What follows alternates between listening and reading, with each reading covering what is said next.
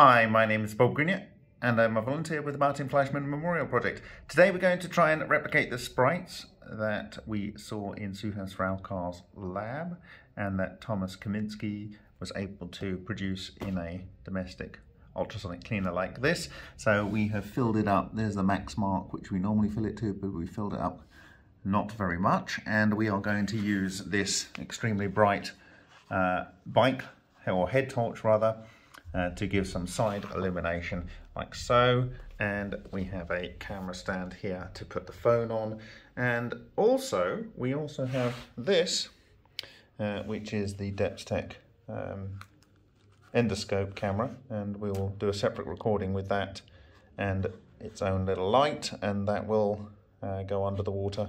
We'll see if we can get a different angle on them. However, this is a much lower frame rate.